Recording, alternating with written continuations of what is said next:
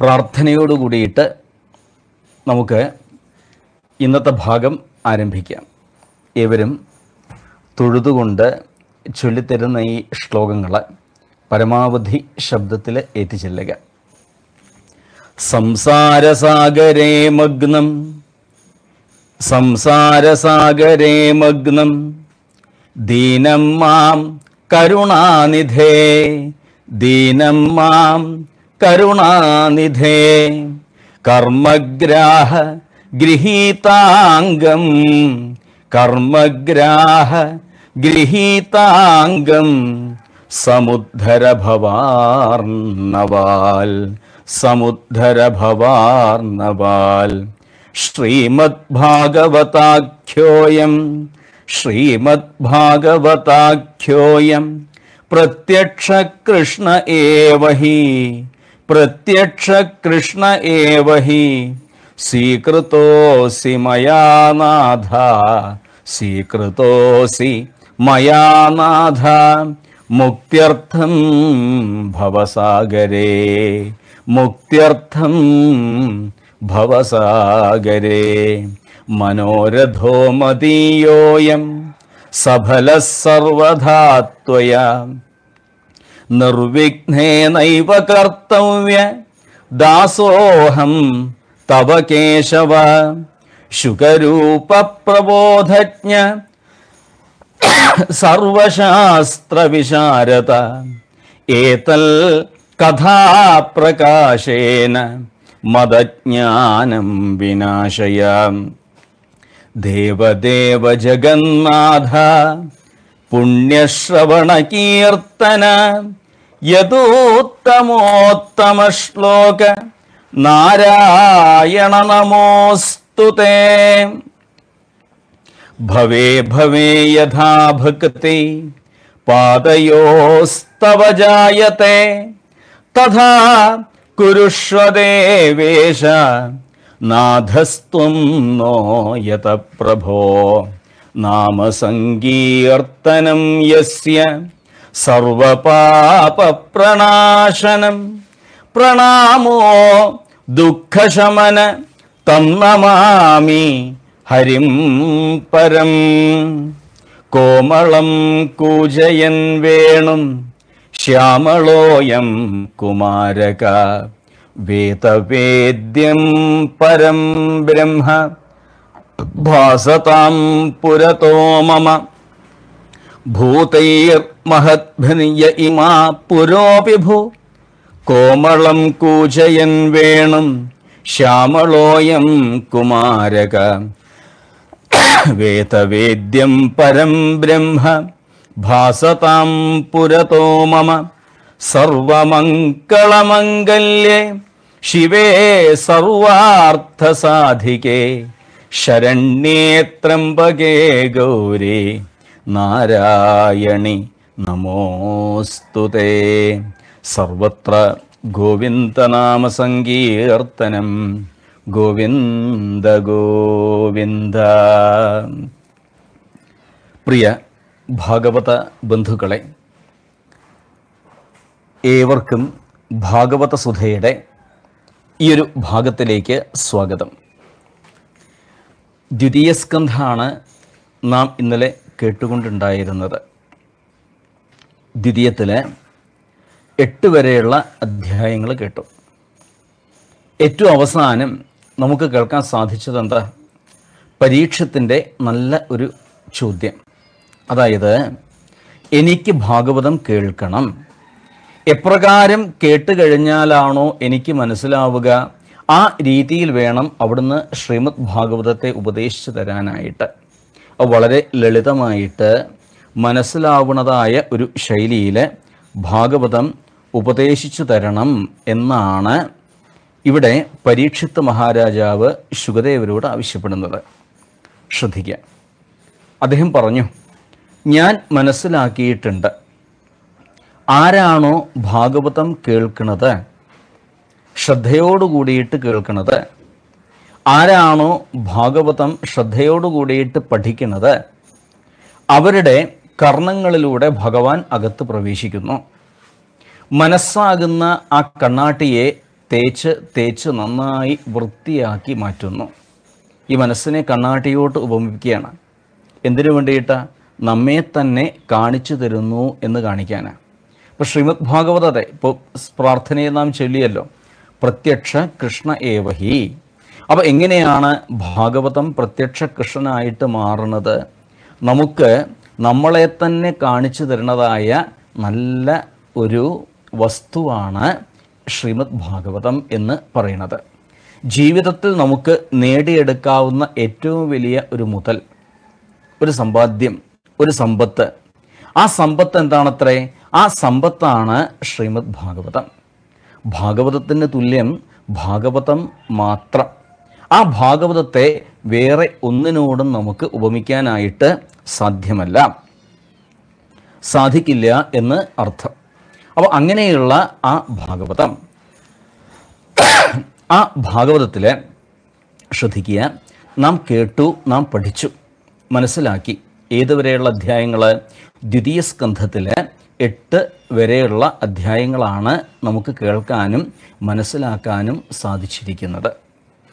പ്രിയ ബന്ധുക്കളെ അപ്പോൾ ഇന്ന് ഭാഗവത സുധയുടെ ആറാമത്തെ ഭാഗമാണ് ഇന്ന്. ഇന്ന് നമുക്ക് പഠിക്കാനുള്ളത് ദ്വിതീയത്തിൽ ഒമ്പത് പത്ത് എന്ന രണ്ട് അധ്യായത്തെ ഒന്ന് നോക്കണം.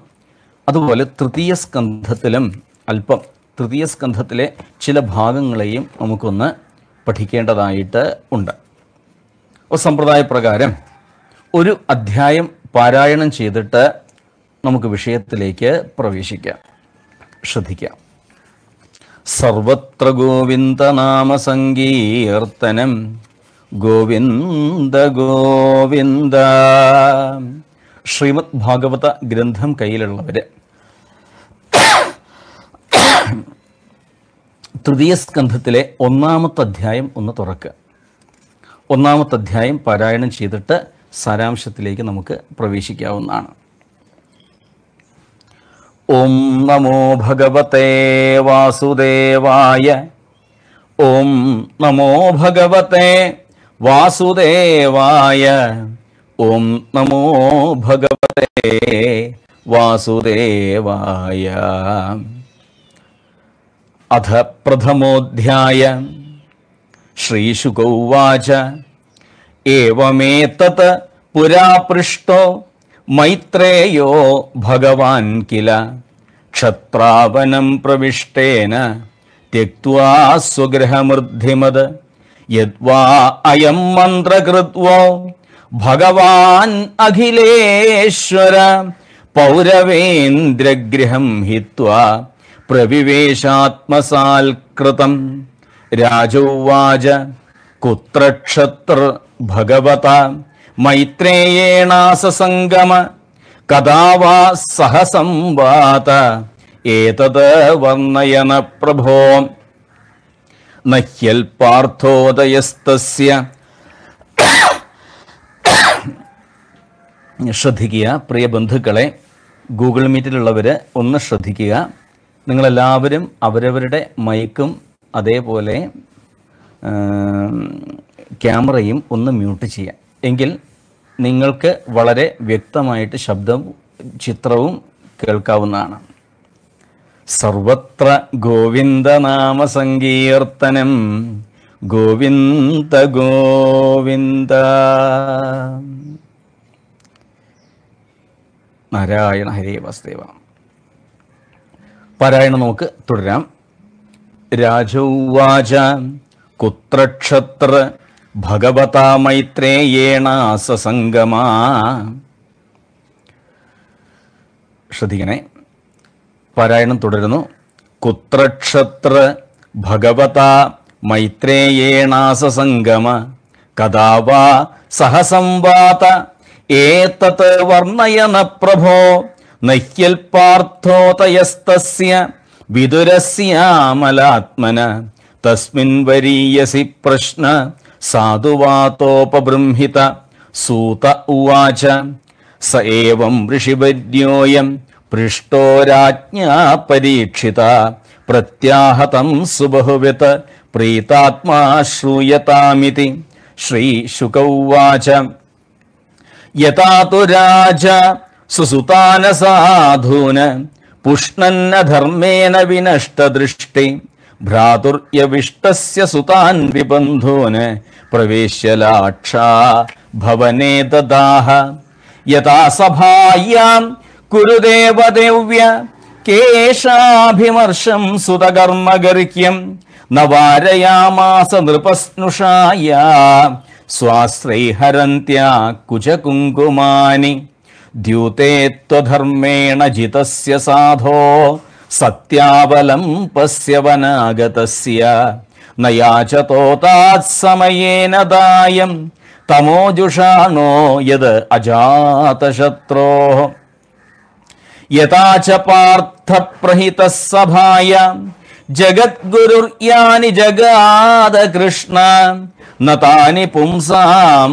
അമൃതായനാനി राजोरुमेने क्षतपुण्यलेश यतोपहूतो भवनं प्रविष्टो मन्त्राय पृष्ट किल पूर्वजेन अदाह तन्मन्त्रदृशां वरीयान् यन्मन्त्रिणो वैतुरिकं वतन्ति अजातशत्रो प्रतियच्छदायं तितिक्षतो दुर्विषहं तवाग सहानुजो यत्र मृगोदराहि शुसन्दुषा यत्त्वमलं बिभेषि पार्थांस्तु देवो भगवान् मुकुन्त गृहीतवान् सक्षित देवदेव आस्ते स्वपूज्याम् यदु देवदेवो विनिर्जिता शेषनु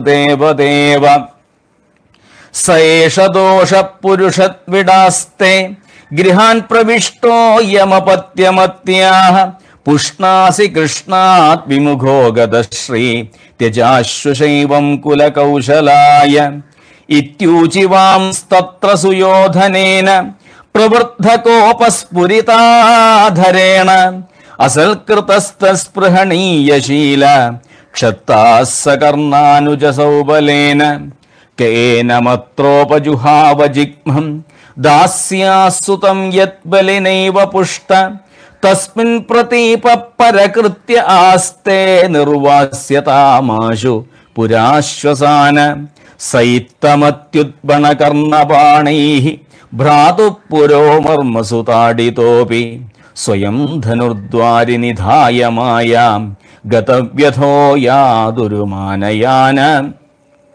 സനിർഗത കൗരവ പുണ്യലബ്ധോ ഗജാക്വയാ തീർത്ഥപദപദാനി अन्वाक्रमल् पुण्यजिगीर्षयोर्व्याम् सुधिष्ठितो यानि सहस्रमूर्ते पुरेषु पुण्योपवनाद्रिकुञ्जेषु अपङ्गतोय अपङ्गतोयेषु सरिःसरस्सु अनन्तलिङ्गैर्समलं कृतेषु चचारतीर्थायतनिष्वनन्य गां पर्यटन्मेध्यविविक्तवृत्ति सदाप्लुतो दशयनोऽवधूत अलक्षितस्वैरवधूतवेषो व्रतानि चेरे हरितोषणानि इत्थं प्रजन् भारतमेव वर्षम् कालेन कालेन यावद्गतवान् प्रभासम्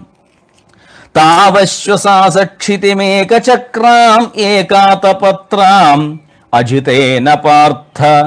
तत्रादशुश्रावसोऽत्विनष्टिम् वनम् यथा वेणुजवह्नि संश्रयम् संस्पर्धया दग्धवतानुशोचन् सरस्वतीम् प्रत्यगियाय तूष्णीम् तस्याम् त्रितस्योशसनो मनोश्च पृथो तस्य वायो തീർത്ഥം സുദാസസ്യ ഗവാം ഗുഹസ്യ യൽ ശ്രാർദ്ധദേവസ്യ സ ആശിഷേവേ. അന്യാനി ചേഹദ്വിജദേവദേവൈ കൃതാനി നാനായതനാനി വിഷ്ണോ പ്രത്യംഗമുഖ്യാങ്കിതമന്തിരാണി യദ്ദർശനാൽ കൃഷ്ണമനുസ്മരന്തേ. തതസ്ത്വതി വ്രജസുരാഷ്ട്രമർദ്ധം सौवीरमत्स्यान् कुरुजाङ्गलांश्च कालेन तावत् यमुनाम् उपेत्य तत्रोद्धवम् भागवतम् ददर्श। स वासुदेवानुचरम् प्रशान्तम् बृहस्पते प्राप्तनयम् प्रतीतम्। आलिङ्क्य गाढम् प्रणयेन भद्रम्। स्वा नामपृच्छल् भगवल् प्रजानान् കച്ചിത് പുരാണോ പുരുഷോ സ്വനാഭ്യ? പാത്മാനുവൃത്യേഹ കിലാവതീർണോ ആസാത ഉർവ്യാ കുശലം വിധായ. കൃതക്ഷണോ കുശലം ശൂരഗേഹേ കച്ചിത് കുരൂണാം പരമസുഹൃന്നോ. ഭാമസ്സ ആസ്തേ സുഖമംഗശൗരി. യോ വൈ സുശ്രീണാം പിതൃവദ്ദതാതി വരാൻ പതന്യോ വരതർപ്പണേന. കക്ഷിൽ വരൂധാതി പ്രദ്യും നാസ്തേ സുഖമംഗവീര. യം രുക്മിണി ഭഗവതോഭിലേഭേ. ആരാപ്രാൻ സ്മരമാതിസർഗേ. കച്ചിൽ സുഖം സാത്വത വൃഷ്ണിപോചദാശാർഹകാണാം അധിപസ്സാസ്തേ യമഭ്യഷിഞ്ചൽ ശതപത്രനേത്രോ നൃപാസനം നൃപാസനാംശാം പരിഹൃത്യ ദൂരാത്. കച്ചിത് ഹരേ സൗമ്യ കച്ചിത് ഹരേ സൗമ്യ സുതസദൃക്ഷ ആസ്തേ ഗ്രണീരഥിനാം സാധു സാംബ അസൂതയം ജാംബവതേ വ്രതാഢ്യ देवं गुहं योऽम्बिगयो धृतोऽग्रे। क्षेमं स गच्छिल्युधानास्ते युयुधा न आस्ते य लेभेञ्ज साधोक्षज सेवयैव गतिम् यतिभिर्दुरापाम्। कच्चिल् बुध सुस्त्यनमिवास्ते श्वभल्क पुत्रो यः कृष्ण पापाङ्कितमार्गपाम् ഭഗവൽ പ്രപന്ന യകൃഷ്ണപാദാങ്കിതമാർഗപാം സൂഷചേഷ്ടത പ്രേമ വിഭിന്നതീ ധൈര്യ കച്ചിൽ ശിവം ദേവകഭോജപുത്ര്യ വിഷ്ണു പ്രജായാ ഇവ ദേവമാതു. യാവൈ സ്വഗർഭേണ ദധാരദേവം ത്രീയഥാ യജ്ഞവിതാനമർത്ഥം അപിസ്യുതാസ്തേ ഭഗവാൻ സുഖം വോ യസ്സാത്വതാം കാമതുഗോപനിരുദ്ധ യമാം അനന്തിസ്മഹ ശബ്ദയോനിം മനോമയം സത്വതുരീയ തത്വം അപിസ്വതന്യേ ച നിജാത്മദൈവം അനന്യവൃത്യാസമനുവ്രതായേ ഹൃതീക സത്യാത്മജ ചാരുദേഷ്ണ ഗദാദയ സ്വസ്തി ചരന്തി സൗമ്യ.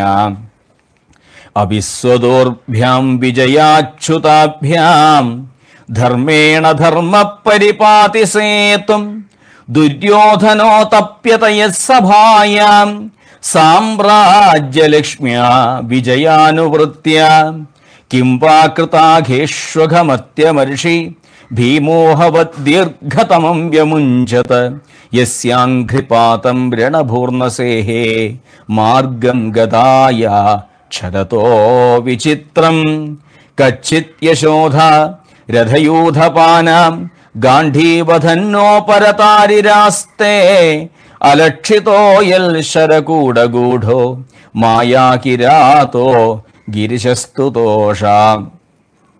യമാവുതസിത്തനയോ പൃഥായ പാർത്ഥൈരവൃതോ പത്മഭീക്ഷണീവ രേമാത ഉദ്ധായ മൃതേ സ്വരിക്തം പരാൽ സുവർണാവിവത്സി വക്ത്രാത് അഹോ പൃഥാപി ധ്രിയതേർഭഗാർത്ഥേ രാജശിവര്യേണ വിനാപിതേന.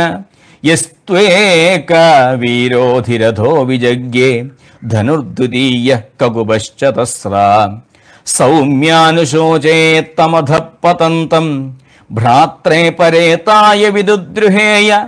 నిర్యాపితో ఏన సుహస్వపుణ్యాం. అహం స్వపుత్రాన్ సమనువ్రతేన. సోహం హరేర్మర్త్యవిడంబనేన దృశో నృణాం చాలయతో విధాతు. വിധാതു നാന്യോപലക്ഷ്യ പദവിം പ്രസാദ. ചരാമി പശ്യൻ ഗതവിസ്മയോത്ര. നൂനം നൃപാണാം ത്രിമതോൽപധാനാം. മഹിം മുഹുശ്ചാലയതാം ചമോഭി. വധാൽ പ്രപന്നാർത്തി ജിഹീഷയേശോപ്യുപൈക്ഷതാഘം. ഭഗവാൻ കുരൂണാം.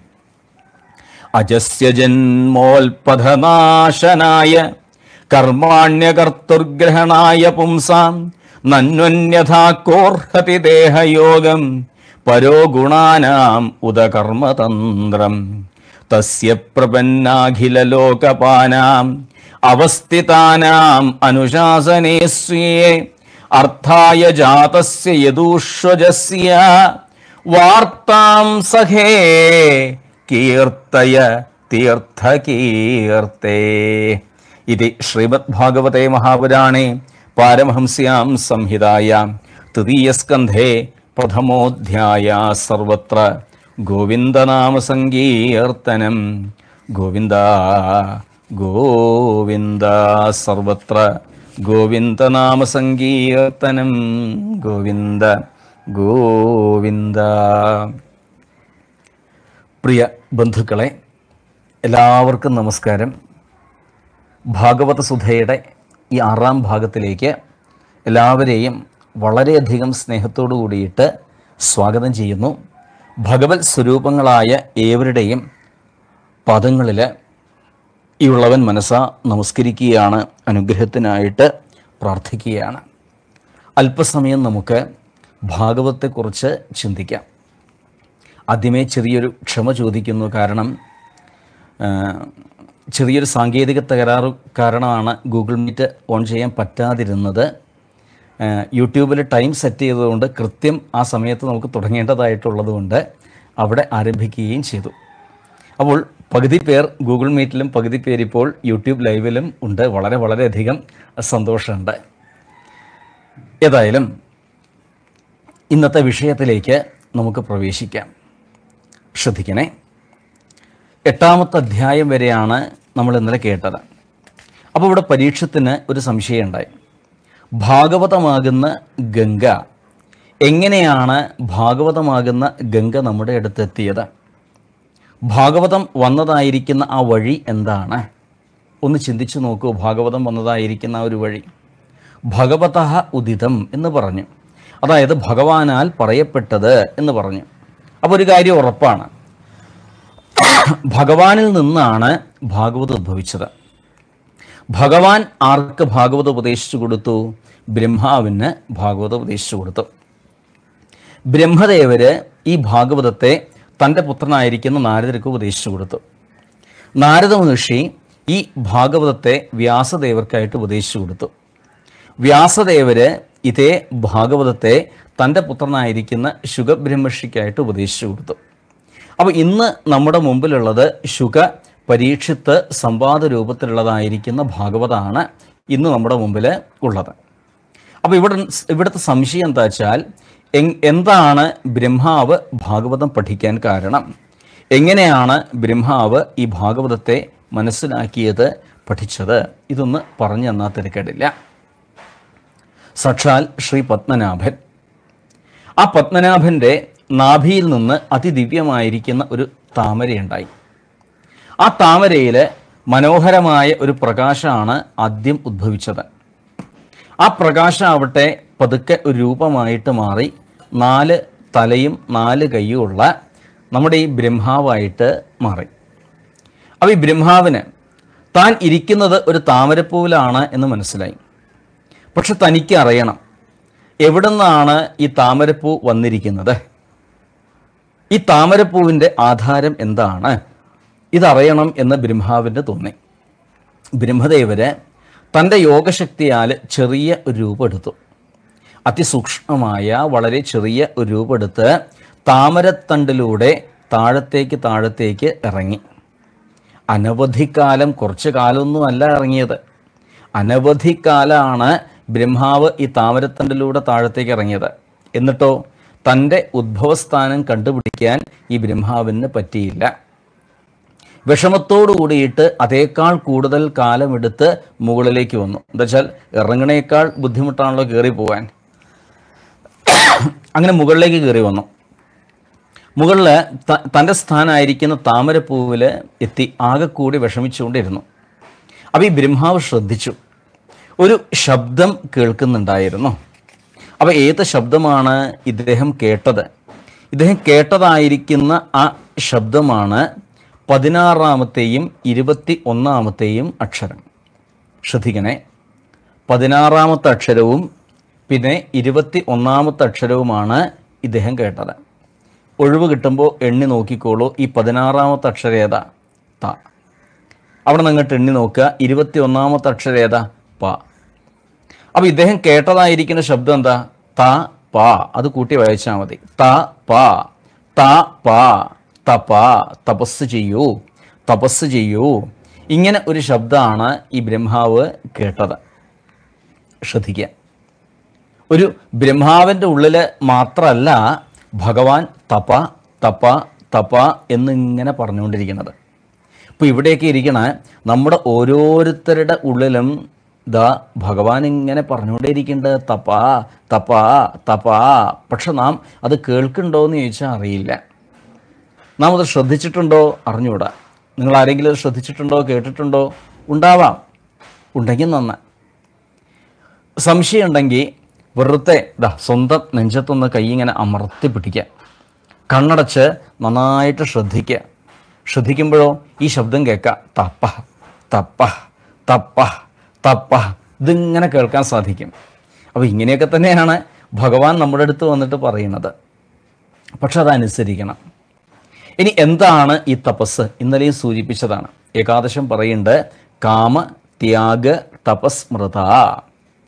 ആഗ്രഹങ്ങളെ സന്തോഷത്തോടു കൂടിയിട്ട് മാറ്റി വയ്ക്കുന്നതിനെയാണ് എന്തെന്ന് പറയുക? തപസ് എന്ന് പറയുക. അങ്ങനെ ബ്രഹ്മാവ് തപസ് ചെയ്തു. കുറച്ചു കാലം തപസ് ചെയ്തതോടു കൂടിയിട്ട് മനോഹരമായ ഒരു ലോകത്തിൽ ഈ ബ്രഹ്മാവ് എത്തിയതായിട്ട് തോന്നി. തസ്മൈ സ്വലോകം. ഭഗവാൻ സഭാജിത. സന്ദർശയാമാസ പരം നയൽ പരം. വ്യപേത സംക്ലേശ വിമോഹ സാധ്വസം. സ്വദൃഷ്ടവദ്ഭിർ വിബുധൈ അഭീഷ്ടുതം ശ്രദ്ധിക്കാം. അപ്പോൾ എന്താണ് ബ്രഹ്മാവ് കണ്ടത്? മനോഹരമായ ഒരു ലോകം കണ്ടു. ആ ലോകത്തിൽ പ്രവർത്തത്തെ യത്ര. രജസ്തമസ്തയോ സത്വം ച മിശ്രം നച്ച കാലവിക്രമ. മനോഹരമായിരിക്കുന്ന ആ ലോകത്തിൽ അവിടെ പറഞ്ഞ ഈ മൂന്നെണ്ണം ഇല്ല. സത്വം രാജസം താമസം ഈ മൂന്നും അവിടെ പ്രവർത്തിക്കുന്നില്ല. പിന്നെന്താ ഉള്ളത് പരിശുദ്ധമായ സാത്വികം. ഇതിനപ്പുറമുള്ളതായ പരിശുദ്ധ സാത്വിക ഗുണമല്ലാതെ വേറെ യാതൊന്നും അവിടെ കാണാനായിട്ട് സാധിക്കില്ല. ബ്രഹ്മാവ് ആകാംക്ഷയോട് കൂടിയിട്ട് അകത്തേക്ക് കയറി. അത്യത്ഭുതം എന്ന് പറയട്ടെ ഒരുപാട് പേരെ ബ്രഹ്മാവ് അവിടെ കണ്ടു. അവർക്കാണെങ്കിലോ എല്ലാവർക്കും നാല് കയ്യ. പീതാംബരം ധരിച്ചിട്ടുണ്ട്. മകരകുണ്ടലങ്ങൾ ചാർത്തിയിട്ടുണ്ട്. വനമാല കാണുന്നുണ്ട്. ചക്ര ശംഖ ഗത പത്മാദികളൊക്കെ കാണുന്നുണ്ട്. അപ്പം ഇങ്ങനെയുള്ള വേഷങ്ങളോടുകൂടിയ അനവധി പേരെയാണ് ബ്രഹ്മാവിന് ആ മനോഹര ലോകത്തിൽ കാണാനായിട്ട് സാധിച്ചത്. ബ്രഹ്മാവിന്റെ വൈകുണ്ഠ ദർശനമാണത് അവരുടെ ഇടയിലൂടെ ഇടയിലൂടെ ബ്രഹ്മദേവര് നീങ്ങിയ സമയത്ത് ഇതാ ദദർശ തത്രാഖില സത്വതാം പതിം ശ്രിയപതിം യജ്ഞപതിം ജഗൽപതിം. സുനന്തനന്ത പ്രബലാർഹണാദിഭി സ്വപാർഷദമുഖ്യൈ പരിസേവിതം വിഭോ. അവരുടെ ഇടയിലൂടെ നീങ്ങിയ സമയത്ത് അതാ സാക്ഷാൽ അനന്തമൂർത്തിയെ കണ്ടു. ചുരുണ്ട് കിടക്കുന്നുണ്ട് അനന്തമൂർത്തി. ആ അനന്തമൂർത്തിയുടെ മുകളിലാണെങ്കിൽ സാക്ഷാൽ നാരായണൻ. ഒരു ഭാഗത്ത് ശ്രീദേവിയുണ്ട് ഒരു ഭാഗത്ത് ധരാദേവിയുണ്ട്. അങ്ങനെ ശ്രീധരനായിക്കൊണ്ടുള്ളതായ ആ രൂപത്തെ നന്നായിട്ട് ബ്രഹ്മാവിന് കാണാനായിട്ട് സാധിച്ചു. ഭഗവാനെ ബ്രഹ്മാവ് തൊഴുതു സ്തുതിച്ചു. അപ്പോൾ എന്തായി ബ്രഹ്മാവിന് പറയാനുള്ള വെച്ചാൽ ഞാൻ ഒരുപാട് കാലം അങ്ങേ അന്വേഷിച്ചുകൊണ്ട് നടന്നു. അങ്ങയെ കാണാൻ അനവധി കാലം. എവിടേക്കാ ഞാൻ പോയത് അറിയില്ല. താമരത്തണ്ടിന്റെ ഉള്ളിലൂടെ അനവധി കാലം താഴത്തേക്ക് പോയി എന്നിട്ടൊന്നും അങ്ങയെ കാണാനോ അങ്ങയെ കണ്ടുപിടിക്കാനോ സാധിച്ചിട്ടില്ല. എന്നാൽ ചുരുങ്ങിയ കാലം അങ്ങയെ ഒന്ന് ധ്യാനിച്ചതോടു കൂടിയിട്ട് തപസ് ചെയ്തോടു കൂടിയിട്ട് അങ്ങയെ കാണാനും സാധിച്ചു. എവിടെ കണ്ടു? സ്വന്തം ഉള്ളിൽ കണ്ടു. ദൂരത്തൊന്നും അല്ല കണ്ടത് സ്വന്തം ഉള്ളിൽ തന്നെ കാണാനായിട്ട് സാധിച്ചു. അപ്പോൾ ഇവിടുത്തെ താല്പര്യം എന്താ വെച്ചാൽ ഭഗവാനെ നമ്മളൊക്കെ അന്വേഷിക്കുന്നുണ്ട്. എവിടെയാണ് ആ ഈശ്വരനുള്ളത്? ഇന്നിടത്താണോ ഉള്ളത്? ഇന്നിടത്താണോ ഉള്ളത്? ഇന്നിടത്താണോ ഉള്ളത്? ലോകാലോകങ്ങൾ മുഴുവൻ അന്വേഷിച്ചു കൊണ്ട് നടന്നു കഴിഞ്ഞാലും ആ ഭഗവാനെ കണ്ടു കിട്ടിക്കൊള്ളണമെന്നില്ല. പലപ്പോഴും നാം നോക്കാൻ മറന്നു പോകുന്ന ഒരിടമുണ്ട്. ഏതാകുന്നു ആ സ്ഥാനം? സ്വന്തം ചിത്താണ് സ്വന്തം ഹൃദയമാണ്. ആ പ്രിയപ്പെട്ടവരെ ഇടയ്ക്കൊന്ന് സ്വന്തം ഉള്ളിലേക്ക് തന്നെ നോക്കാം സ്വന്തം ഉള്ളിലേക്ക് തന്നെ നോക്കുന്ന സമയത്ത് തീർച്ചയായിട്ടും നമുക്ക് ആ ഭഗവാനെ ആസ്വദിക്കാൻ ആ ഭഗവാനെ കാണാൻ സാധിക്കും എന്നതിൽ യാതൊരു തർക്കവുമില്ല. ഇവിടെ ഭഗവാൻ സന്തോഷമായി ഭഗവാൻ പറഞ്ഞു എന്നെ കണ്ടു കഴിഞ്ഞാൽ എന്തെങ്കിലും ഒരു സമ്മാനം ഇപ്പോൾ കർണന്മാരെയൊക്കെ പോയിട്ട് നമസ്കരിച്ച എന്തെങ്കിലും ഒരു കൈനേട്ടം അവർ തരുമല്ലോ ഇതേപോലെ ആദ്യമായിട്ടാണ് ബ്രഹ്മാവ് ഭഗവാനെ കാണുന്നത്. ആ ഭഗവാന് തോന്നി ഇദ്ദേഹത്തിന് എന്തെങ്കിലും ഒന്ന് കൊടുക്കണം. പക്ഷെ കൊടുക്കുന്നത് എന്തായിരിക്കണം? ലോകത്തിന് ഉപകാരപ്രദമായിട്ടുള്ള സംഗതിയായിരിക്കണം. അങ്ങനെ ഭഗവാൻ നിശ്ചയിച്ചത് എന്താ വെച്ചാൽ ഇദ്ദേഹത്തിന് ഭാഗവതം പകർന്നു കൊടുക്കാം എന്ന് നിശ്ചയിച്ചു.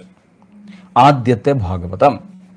ആ ഭാഗവതത്തിന് അണിച്ച ഒരു പേരുണ്ട് ചതുശ്ലോകി ഭാഗവതം എന്നാണ് ആ ഭാഗവതത്തിന്റെ പേര്. ഈ ഭാഗവത്തിലെ തത്വം മാത്രമേ ഉള്ളൂ. സന്ദർഭവശാൽ പറയുകയാണ് പൂർവകാല ആചാര്യന്മാരൊക്കെ പറഞ്ഞു കേട്ടിട്ടുണ്ട് മൂന്നെണ്ണം തികയുമ്പോഴാണത്രേ ഭാഗവതം പൂർണമായിട്ട് തീരുന്നത്. അപ്പോൾ ഏതായി മൂന്നെണ്ണം? തത്വം ഒന്നാമതായിട്ട് തത്വമാണ്.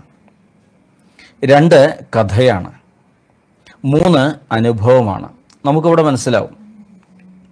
ഭഗവാൻ ബ്രഹ്മാവിന് ഭഗവാൻ ബ്രഹ്മാവിന് ഉപദേശിച്ചു കൊടുക്കുന്ന സമയത്ത് അവിടെ തത്വം മാത്രമേ ഉണ്ടായിരുന്നുള്ളൂ. ഒരു കഥയും അവിടെ ഭഗവാൻ പറഞ്ഞിട്ടുണ്ടായിരുന്നില്ല. എന്നാൽ ഇതേ ഭാഗവതം ബ്രഹ്മദേവര് നാരദ മഹർഷിക്ക് ഉപദേശിച്ചു കൊടുക്കുമ്പോഴോ ചില കഥകളോട് കൂട്ടി ഇണക്കിയിട്ടാണ് നാരദ മഹർഷിക്കായിട്ട് ബ്രഹ്മദേവര് ബ്രഹ്മദേവര് ഭാഗവത് ഉപദേശിച്ചു കൊടുത്തത്. എന്നാ ഈ നാരദർ എന്ത് ചെയ്തു? തന്റെ മുമ്പിൽ എത്തിയതായിരിക്കുന്ന വ്യാസദേവർക്കാണ് ഭാഗവത ഉപദേശിച്ചു കൊടുത്തത്. അവിടെ തത്വമുണ്ട് കഥയുണ്ട് ഒപ്പം തന്റേതായിരിക്കുന്ന തന്റെ ജീവിത അനുഭവത്തെ കൂടി ചേർത്ത് വെച്ചിട്ടാണ് ശ്രീനാരദ മഹർഷി അതാ വ്യാസർക്കായിട്ട് ഭാഗവത ഉപദേശിച്ചു കൊടുത്തത്. വ്യാസര് വ്യാസര് ഈ ഭാഗവതത്തെ ആ ശുഗദേവർക്കൊക്കെ ഉപദേശിച്ചു കൊടുക്കുന്ന സമയത്ത് അതുപോലെ ശുഖം പരീക്ഷിത സംവാദ രൂപേണ മറ്റുള്ളവർക്ക് ഉപദേശിച്ചു കൊടുക്കുന്ന സമയത്ത് അനവധി മഹത്തുക്കളുടെ കഥകൾ ഭാഗവതന്മാരുടെ കഥകൾ ത്യാഗികളുടെ ചരിത്രങ്ങൾ ഇതൊക്കെ ചേർത്ത് വെച്ചിട്ടുണ്ട്. എന്തിനു വേണ്ടിയിട്ട്? അനുഭവം പറയുന്ന സമയത്താണ് ആശയം കൂടുതലായിട്ട് ഉറക്കുക അപ്പോൾ നമ്മൾ തന്നെ സാധാരണ വർത്തമാനത്തിൽ പറയും എനിക്ക് ഇങ്ങനെ ഒരു അനുഭവം ഉണ്ട് കേട്ടോ. എന്തിനാ? ഒന്നുകിൽ അത് നല്ലതായിരിക്കാം. അല്ലെങ്കിൽ അത് ചീത്തതായിരിക്കാം. നല്ലതാണെങ്കിൽ അങ്ങനെ ആവണം. ചീത്തതാണെങ്കിൽ ആ വഴിക്ക് പോണ്ട എന്ന് മറ്റുള്ളവരോട് പറയാൻ വേണ്ടിയിട്ട് തന്നെയാണ്. അപ്പോൾ വലിയൊരു ജ്ഞാനാണ് ഈ അനുഭവജ്ഞാനം എന്ന് പറയുന്നത്. അതാണ് ഭാഗവതത്തിൽ മൂന്നാമതായിട്ട് അനുഭവത്തിനും അവിടെ സ്ഥാനം കൽപ്പിച്ചിരിക്കുന്നത്. അപ്പോൾ ഏതായാലും ഭഗവാൻ ഉപദേശിച്ചു കൊടുത്തതായിരിക്കുന്ന ഭാഗവതം. ഈ ബ്രഹ്മാവിന് ഉപദേശിച്ചു കൊടുത്ത ഭാഗവതം.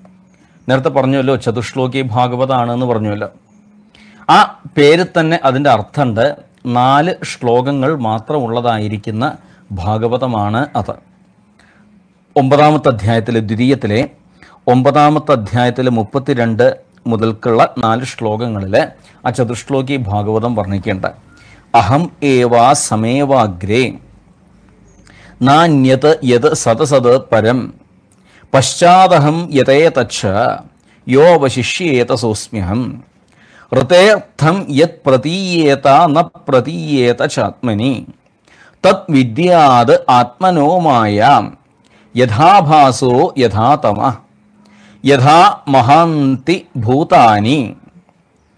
भूतेषु उच्छावचेषु नु प्रविष्टान्यः प्रविष्टानि तथा तेषु न तेष्वहम्। ഏതാവതേവ ജിജ്ഞാസ്യം തത്വജിജ്ഞാസുനാത്മന അന്വയ വ്യതിരേകാഭ്യാം യത് സ്യാത് സർവത്ര സർവത. ഈ ഒരു നാല് ശ്ലോകത്തിന്റെ ആശയത്തെ നമുക്ക് എളുപ്പത്തിൽ പഠിക്കാം. പഴയകാല ആചാര്യന്മാർ പറഞ്ഞു കേട്ടിട്ടുണ്ട്. അർത്ഥത്തെയല്ല ശ്രദ്ധിക്കണേ അർത്ഥത്തെയല്ല ആശയത്തെ പഠിക്കാം എന്ന് പറയണം. നാലേ നാല് വാക്കുകൾ പറ്റുമെങ്കിൽ ഓർത്തു വയ്ക്കുക. ആ വാക്കുകളിലൂടെ ഈ ആശയത്തിലേക്ക് നമുക്ക് നമ്മുടെ മനസ്സിനെ കൊണ്ടുപോകാം. ഒന്ന് ത്രിസത്യം. രണ്ട് പ്രളയം. മൂന്ന് സ്ഥാനം. നാല് അവസ്ഥ. ആവർത്തിക്കുകയാണേ. ഒന്ന് ത്രിസത്യം. രണ്ട് പ്രളയം. മൂന്ന് സ്ഥാനം. നാല് അവസ്ഥ. അപ്പോൾ ഈ നാല് വാക്കുകളിലൂടെ നമുക്ക് ഈ നല്ല ആശയത്തിലേക്ക് നമ്മുടെ മനസ്സിനെ കൊണ്ടുപോകാം. ത്രിസത്യം. ആ വാക്കിൽ തന്നെ അർത്ഥമുണ്ട്. എന്താ അർത്ഥം? ത്രികാലങ്ങളിലും സത്യമായ ഒന്ന് ഏതൊന്നാണോ അത് ത്രിസത്യമാണ്. നമ്മളൊക്കെ സത്യമാണ്. എപ്പോഴത്തെ സത്യമെന്ന് ചോദിച്ചാൽ ഇപ്പോഴത്തെ സത്യം. ഇന്ന് നമ്മളുണ്ട്. ഉണ്ടെന്നാണ് വിചാരിക്കുന്നത് ഇതിനു മുമ്പ് ഉണ്ടായിരുന്നില്ല ഇനി നാളെ നമ്മളൊക്കെ ഇവിടെ ഉണ്ടാവും എന്ന കാര്യത്തിൽ യാതൊരു ഉറപ്പുമില്ല. എന്നാൽ ഈശ്വരൻ എങ്ങനെയാണോ? ഭഗവാൻ എങ്ങനെയാണോ? ഒരിക്കലും അല്ല. അന്ന് ഉണ്ടായിട്ടുണ്ട് ഇന്നുണ്ട് എന്നുമുണ്ട് അപ്പോൾ അന്നും ഇന്നും എന്നും എന്തൊന്നാണോ ഉള്ളത് അതിനെയാണ് ഇവിടെ ത്രിസത്യം എന്ന് പറയുന്നത്. പ്രിയ ബന്ധുക്കളെ അപ്പോൾ ശ്രീമദ് ഭാഗവതത്തിന് ഏതൊരു സന്ദേശമാണ് നമുക്കായിട്ട് ഈ സന്ദർഭത്തിൽ തരാനുള്ളത്? മനസ്സ് ഉറയ്ക്കണം ശ്രദ്ധയുണ്ടാവണം. എന്തിലാണ് ശ്രദ്ധയുണ്ടാവേണ്ടത്? ത്രികാലങ്ങളിലും സത്യമായ സത്യം ഏതൊന്നാണോ ആ സത്യത്തിൽ തന്നെ ശ്രദ്ധയുണ്ടാവണം. മനസ്സിലാക്കുക ശ്രദ്ധ എന്നുള്ള വാക്ക് തന്നെയാണ് ഇവിടെ ഉപയോഗിക്കുന്നത് എന്നുവെച്ചാൽ ഭാഗവതം ശ്രദ്ധയ്ക്ക് കൂടുതൽ പ്രാധാന്യം കൽപ്പിക്കുന്നുണ്ട്. അപ്പോൾ ആദ്യമായിട്ട് പറയാനുള്ളത് എന്താ വെച്ചാൽ ഇന്ന് മാത്രം കാണുന്നതിൽ ശ്രദ്ധ പോണ്ട. അന്നും ഇന്നും എന്നും ഒരുപോലെയുള്ളത് ഏതൊന്നാണോ ആ ത്രികാലങ്ങളിലും സത്യമായ സത്യത്തിൽ മാത്രം ശ്രദ്ധയെ പതിപ്പിക്കുക. ഇനി അടുത്തത് രണ്ടാമത്തത്. പ്രളയം എന്ന് പറഞ്ഞുവല്ലോ. പ്രളയം. പ്രഹർഷേണയുള്ള ലയാണ് ഈ പ്രളയം. ഈ പ്രളയം എന്ന വാക്കിന് ഒരർത്ഥം വെച്ചാൽ മാറ്റം എന്നാണ്. അപ്പോൾ എന്ത് സൂചിപ്പിക്കുന്നു ഇവിടെ? ഇവിടെ പലതും മാറി മാറി മാറി വരുന്നുണ്ട്. ഇനി എന്തൊക്കെ മാറിക്കഴിഞ്ഞാലും മാറ്റം സംഭവിക്കാത്ത ഒന്നുണ്ടേനും ഇപ്പോൾ നമുക്കൊക്കെ മാറ്റമുണ്ട്. ജനിച്ച് അന്ന് ഉണ്ടായ രൂപമല്ല ഈ കാണുന്നത്. ഒരു ആറു മാസം അല്ലെങ്കിൽ ഒരു വയസ്സ് പ്രായമുള്ളപ്പോൾ കണ്ടതായിരിക്കുന്ന രൂപമല്ല നമ്മളിപ്പോൾ കാണുന്നത്. ഇന്ന് കാണുന്ന ഈ രൂപമല്ല ഇനി ഒരു പത്തൊമ്പത് വയസ്സ് ആവുമ്പോൾ അല്ലെങ്കിൽ ഒരു അറുപത് എഴുപത് വയസ്സാകുമ്പോൾ ഇന്ന് കാണുന്ന ഈ രൂപമായിരിക്കില്ല ഉണ്ടാവുക. ഇത് മാറിക്കൊണ്ടേയിരിക്കണ്ടേ? എന്നാൽ ഇതിനകത്ത് മാറാത്തതായിരിക്കുന്ന ഒന്നുണ്ട് മാറ്റം സംഭവിക്കാത്ത ഒന്നുണ്ട് അപ്പോൾ ആ മാറ്റം സംഭവിക്കാത്തതായിരിക്കുന്ന ആ ഒന്ന് ഏതാകുന്നു? ആ ഒന്നാണ് സാക്ഷാൽ ആത്മാവ്. ജനിച്ചെന്ന് എങ്ങനെയാണോ ആത്മാവ് ഈ ശരീരത്തിനകത്ത് അതേപോലെയാണ് അവസാനത്തെ ശ്വാസം കഴിക്കുന്നത് വരെ. മരണം വരെ അങ്ങനെയാണ്. അപ്പോൾ ശ്രദ്ധയുണ്ടാവണം. ഭാഗവതത്തിന് പറയാനുണ്ടായി ശ്രദ്ധയുണ്ടാവണം. എന്തിലാണ് ശ്രദ്ധയുണ്ടാവേണ്ടത്? മാറ്റം സംഭവിക്കുന്നതിൽ ശ്രദ്ധയുണ്ടാവരുത്. മാറുന്നതിൽ ശ്രദ്ധയുണ്ടാവരുത് എന്നും ഒരേപോലെ ഉള്ള മാറ്റം സംഭവിക്കാത്ത മാറ്റത്തിന് വിധേയമാവാത്ത സത്യം ഏതാണോ ആ സത്യത്തിലാണ് ശ്രദ്ധയുണ്ടാവേണ്ടത്. ഇപ്പോൾ സഹസ്രനാമത്തിൽ ഭഗവാന്റെ ഒരു നാമമാണ് അവ്യയായ നമ. വ്യയം എന്ന വാക്കിന് മാറ്റം എന്ന അർത്ഥം. എന്നാൽ ഭഗവാനാണെങ്കിൽ അവ്യയനാണ് എന്ന് പറഞ്ഞു. വ്യയം മാറ്റാണെങ്കിൽ അതിന്റെ വിപരീതം മാറ്റത്തിന് വിധേയമാവാത്തത്. അതേതാ? അതാണ് അവ്യയം. അപ്പോൾ ശ്രദ്ധയുണ്ടാവണം. ഏതിൽ ശ്രദ്ധയുണ്ടാവണം? എന്നും ഒരേപോലെയുള്ള മാറ്റത്തിന് വിധേയമാവാത്ത ആ പൊന്നു ഗുരുവായൂരപ്പനിൽ ആ സത്യത്തിൽ എപ്പോഴും ശ്രദ്ധയുണ്ടായിരിക്കണം. ഇനി മൂന്നാമതായിട്ട് പറയാനുള്ളത് സ്ഥാനം എവിടെയാണ് എന്നാണ് എവിടെയാണ് ഈ സർവേശ്വരൻ പ്രകാശിക്കുന്നത്? സംശയം വേണ്ട. അന്തസ്ഥ സർവഭൂതാന. എളുപ്പത്തിൽ പറയാം. അപ്പോൾ സർവഭൂതങ്ങളുടെയും അകത്ത് ഒരേപോലെ ആ സത്യസ്വരൂപൻ പ്രകാശിക്കുന്നുണ്ട്. ആ ഭഗവാൻ പ്രകാശിക്കുന്നുണ്ട്. അതേപോലെ പുറത്തും പ്രകാശിക്കുന്നുണ്ട്. അപ്പോൾ ശ്രീമദ് ഭാഗവതം നമുക്കായിട്ട് പറഞ്ഞു തരികയാണ് അകത്ത് മാത്രം കാണുന്നതിൽ ശ്രദ്ധ പോണ്ട. പുറത്ത് മാത്രം കാണുന്നതിൽ ശ്രദ്ധ പോണ്ട. ഏതൊന്നാണോ? അകത്തും പുറത്തും ഒരേപോലെയുള്ളത്. ആ അകത്തും പുറത്തും ഒരേപോലെയുള്ള ആ ഒന്നിൽ തന്നെ ശ്രദ്ധയെ ഉറപ്പിക്കാനായിട്ട് പ്രിയപ്പെട്ടവരെ ശ്രമിച്ചുകൊള്ളുക. ഇനി അവസാനമായിട്ട് അവസ്ഥയെക്കുറിച്ച് പറഞ്ഞു. താൻ ആരാണ്? സർവസാക്ഷിയാണ് താൻ. എല്ലാറ്റിനും സാക്ഷിയായിരിക്കുന്ന ഒന്നാണ്. ഞാനെല്ലാം കാണുന്നുണ്ട്. ഞാനേ എല്ലാം കാണുന്നുള്ളൂ. ഞാനെല്ലാം അറിയുന്നുണ്ട്. ഞാനേ എല്ലാം അറിയുന്നുള്ളൂ. അപ്പോൾ എല്ലാം കാണുന്നതും അറിയുന്നതും മനസ്സിലാക്കുന്നതുമായ ഒന്ന്. ആ ഒന്ന് ഏതാ? ആ ഒന്നാണ് സാക്ഷാൽ ഭഗവാൻ. എല്ലാം അറിയണ്ട. മനസ്സിലാവാൻ വേണ്ടി മാത്രം ഒരു ഉദാഹരണം പറയാം. ഇപ്പം രാത്രി ഉറങ്ങി നല്ല ഉറക്കുറങ്ങി. രാവിലെ എഴുന്നേറ്റു. രാവിലെ എഴുന്നേറ്റ് കഴിഞ്ഞാൽ സാധാരണ നമ്മളൊക്കെ സാധാരണക്കാരായ നമ്മളൊക്കെ പറയുന്ന ഒരു വാക്കുണ്ട്. എല്ലാവർക്കും അറിയാലോ. സുഖമായിട്ട് ഉറങ്ങി. ഉറക്കം നല്ല സുഖമായിരുന്നു. രാത്രി കിടക്കേണ്ട താമസമേ ഉണ്ടായുള്ളൂ. കണ്ണട്ട് അടയ്ക്കേണ്ട താമസം ദാ ഉറങ്ങിപ്പോയി. പിന്നെ ചടയേന്നും പറഞ്ഞ് വിളിച്ചായി. പെട്ടെന്ന് സമയം അങ്ങോട്ട് പോയി. ദാ രാവിലെ അങ്ങോട്ട് എഴുന്നേറ്റു. അതുകൊണ്ട് സുഖമായിട്ട് ഉറങ്ങി എന്ന് പറഞ്ഞു. അപ്പോൾ ഒന്ന് ചോദിച്ചോട്ടെ. ഇവിടെ ഈ ഉറക്കം സുഖമായി എന്ന് എങ്ങനെ മനസ്സിലാക്കി? എങ്ങനെയാണ് ഈ ഉറക്കം സുഖമായി എന്ന് അറിയണത്? ഉറങ്ങിയ ആൾ വല്ലതും അറിയണ്ടോ ഉറങ്ങിയ ആൾ ഒന്നും അറിയുന്നില്ല. ഒരു വസ്തു ഈ ഉറങ്ങിയ ആൾ അറിയുന്നില്ല. എന്നാലും പറയുന്നുണ്ട് ഉറക്കം സുഖമായി എന്ന് പറയുന്നുണ്ട്. അതിന് കാരണമുണ്ട്. ഇതിനകത്ത് ഉറങ്ങാതെ ഒരാൾ ഇരിക്കുന്നുണ്ട് എന്ന് വേണം മനസ്സിലാക്കാൻ. ആ ആൾ ഉറങ്ങിക്കഴിഞ്ഞാൽ പിന്നെ എഴുന്നേക്കേണ്ടതായിട്ട് വരില്ല.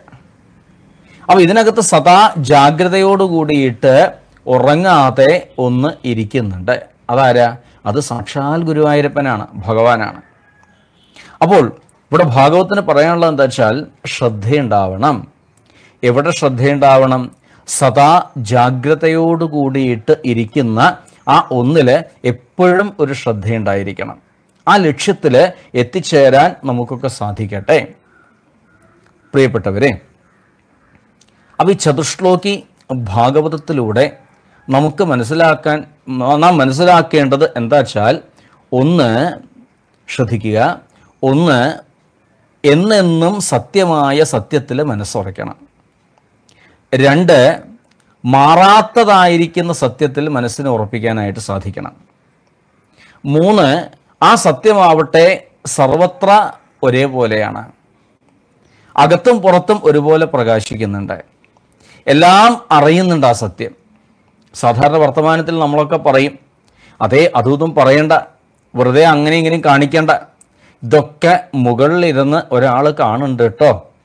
അല്ലെ മുകളിലിരുന്ന് ഒരാൾ കേൾക്കുന്നുണ്ട് കേട്ടോ. എന്നാൽ സത്യത്തിൽ മുകളിലിരുന്നിട്ടല്ല കാണുന്നത് മുകളിലിരുന്നിട്ടല്ല കേൾക്കണത്. സ്വന്തം ഉള്ളിൽ ഇരുന്നു കൊണ്ട് തന്നെ കാണുന്നുണ്ട് കേൾക്കണമുണ്ട് അറിയണമുണ്ട് അപ്പോൾ സർവത്തിനും സാക്ഷിയാണ് എല്ലാം അറിയുന്ന ആ സത്യസ്വരൂപെങ്കിൽ മനസ്സ് നന്നായിട്ട് ഉറക്കട്ടെ. അപ്പോൾ ഇങ്ങനൊരു ആശയം. ബ്രഹ്മാവിനായിട്ട് ഭഗവാൻ ഉപദേശിച്ചു കൊടുത്തു. എന്നിട്ട് പറയും ചെയ്തു മറ്റുള്ളവർക്ക് മനസ്സിലാവുന്ന രീതിയിൽ ഇത് ഉപദേശിച്ചു കൊടുത്തോളൂ. ഭഗവാന്റെ ഭാഷ ഈ ബ്രഹ്മാവിനല്ലാതെ വേറൊരാൾക്ക് അത് മനസ്സിലാവില്ല മനസ്സിലാക്കാൻ വലിയ പ്രയാസമാണ് മനസ്സിലാവില്ല. അതുകൊണ്ട് തന്നെയാണ് ഭഗവാൻ ബ്രഹ്മാവിനെ വിളിച്ചിട്ട് ഇപ്രകാരം ഒരു ഉപദേശം കൊടുത്തിരിക്കുന്നത്. ശ്രദ്ധിക്കുക തുടർന്ന് ഈ ഭാഗവതം നാരദര് വഴി വ്യാസരിലെത്തി വ്യാസരിലൂടെ ശുഗദേവരിലെത്തി.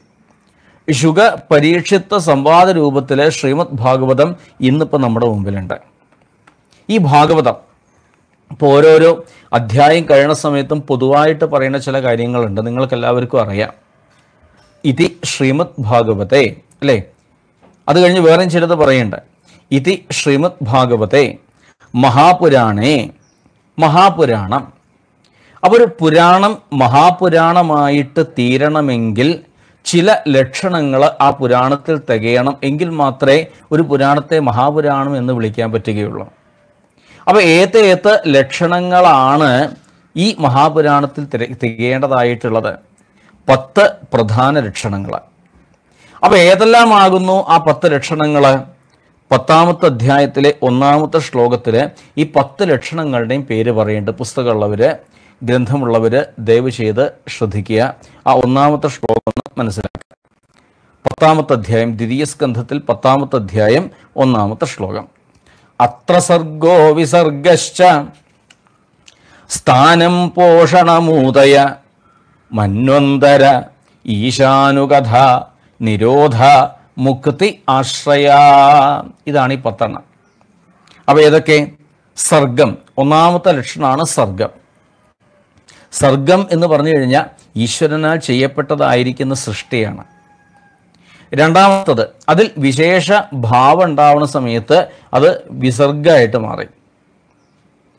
മൂന്ന് എപ്രകാരാണ് ലോകമര്യാദയെ ഭഗവാൻ തെറ്റാതെ പരിപാലിക്കുന്നത്? അതാണ് സ്ഥാനം എന്ന ലക്ഷണം. അഞ്ചാമത്തെ സ്കന്ധം. ശ്രദ്ധിക്കുക ദ്വിതീയ സ്കന്ധം ഇവിടെ കഴിയാറായി. ഇനി ഇവിടുന്ന് ഓരോരോ സ്കന്ധങ്ങൾ ഓരോരോ ലക്ഷണമാണ് അടുത്ത തൃതീയാണ് ആരംഭിക്കാനുള്ളത് തൃതീയ സ്കന്ധത്തിന്റെ ലക്ഷണമാണ് സർഗം. ചതുർത്ഥ സ്കന്ധത്തിന്റെ ലക്ഷണമാണ് വിസർഗം. പഞ്ചമസ്കന്ധത്തിന്റെ ലക്ഷണമാണ് സ്ഥാനം. ഇനി നാലാമത്തെ ലക്ഷണമാണ് പോഷണം. പോഷണം എന്ന് പറഞ്ഞു കഴിഞ്ഞാൽ എത്ര താഴേക്കട വീണ് കഴിഞ്ഞാലും ഉള്ളിന്റെ ഉള്ളിന്റെ ഉള്ളിന്റെ ഉള്ളിൽ ഭക്തിയുടെ ചെറിയൊരു സ്ഫുരണം ഉണ്ടെങ്കിൽ അവർക്ക് എഴുന്നേറ്റ് വരാം. ഉണർന്നു വരാനായിട്ട് സാധിക്കും. ഇതാണ് ഈ പോഷണം നമുക്കായിട്ട് കാണിച്ചു തരുന്നത്. ഉദാഹരണമായിട്ട് അജാമിളന്റെ കഥ പറഞ്ഞു. വൃത്രന്റെ കഥ പറഞ്ഞു ചിത്രകേതുവിന്റെ കഥ പറഞ്ഞു മരുതുൽപ്പത്തി പറഞ്ഞു. ഇതൊക്കെ ഈ ഭാഗങ്ങളൊക്കെ ഇതാ ഈ ഒരു സ്കന്ധത്തിലാണ് വരുന്നത്. അടുത്ത ലക്ഷണം ഊതിയാണ് സപ്തമസ്കന്ധം ഊതി എന്ന ശബ്ദത്തിന് ഒരർത്ഥം എന്താ വെച്ചാൽ വികാസം എന്നാണ്. അപ്പോൾ എന്ത് വികാസത്തെക്കുറിച്ചാണ് ഇവിടെ പറയുന്നത് ശ്രദ്ധിക്കുക വാസന വികാസം.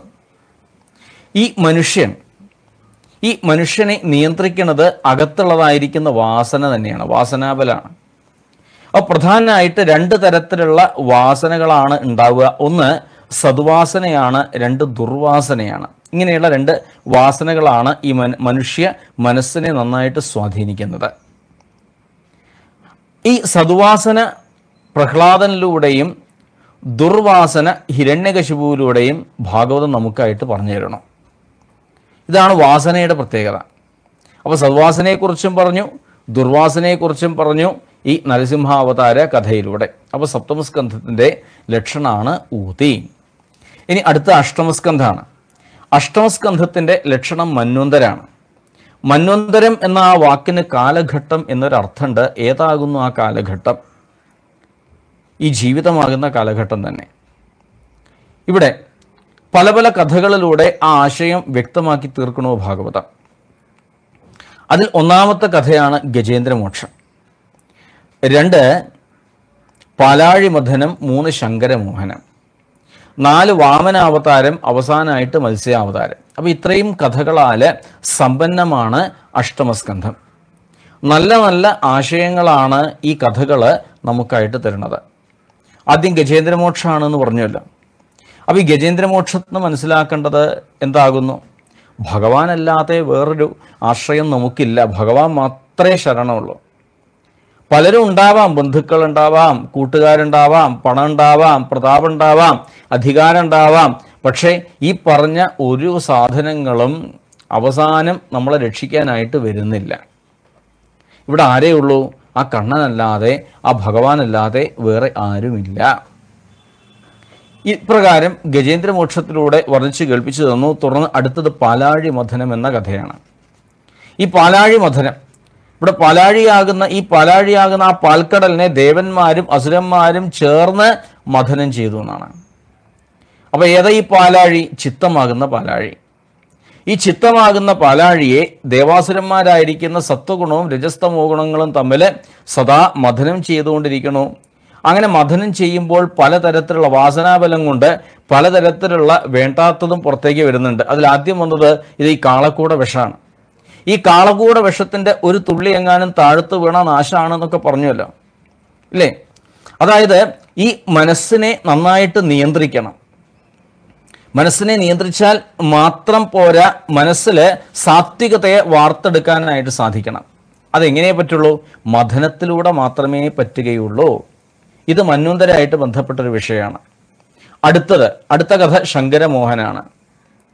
ഈ ശങ്കരമോഹനം കഴിഞ്ഞ് വാമന അവതാരം അങ്ങനെ മത്സ്യാവതാരം വരെയുള്ള കഥകളാണ് ഈ അഷ്ടമസ്കന്ധത്തിലെ മുഖ്യ വിഷയം. അടുത്തത് ഈശാനം എന്ന ലക്ഷണം ഒമ്പതാമത്തെ സ്കന്ധം.